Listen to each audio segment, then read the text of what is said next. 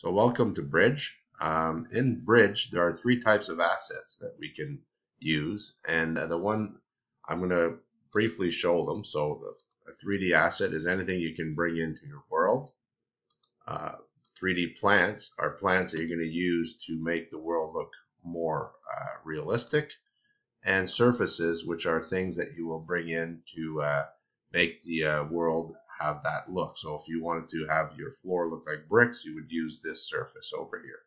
Okay, you can always click on these uh, and kind of get a, a, little bit more of a sense of, of what they are.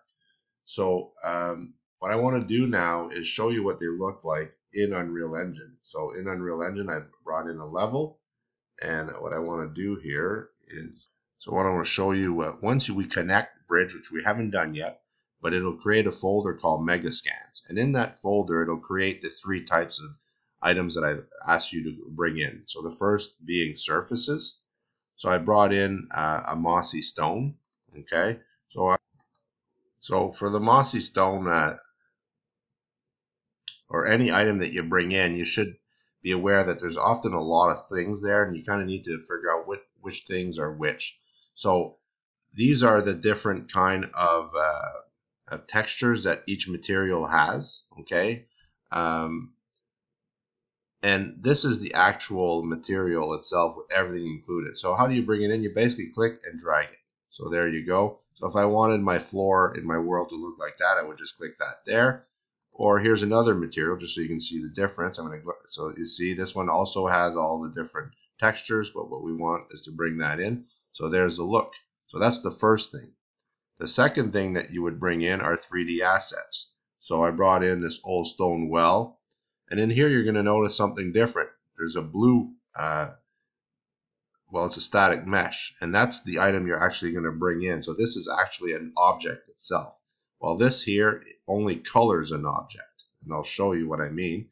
So if I bring this in, there's the object. You're going to see down here, this has its own material. Okay.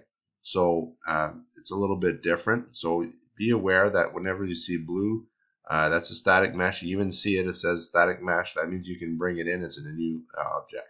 The last item in the, that I'm asking you to bring in are the plants. So plants basically uh, under foliage, and I'll do a tutorial on this later, but you can basically color uh, the floor, and I'll do it really quickly here, so you can kind of see what I mean and I'm gonna I have a couple already selected so I'll just click on these two. And then when I come here you're gonna see that when I start coloring you're gonna and if I zoom in you're gonna see there's some vegetation okay? So those are the three things that uh, you can bring in with Quixel. Now I should mention you're not to be able to bring in trees. You can bring in tree trunks and stuff uh, but you can right now we're gonna I know I said we're doing Robin Hood uh, and probably we'll still do that but for the main thing is you're bringing in the following three things.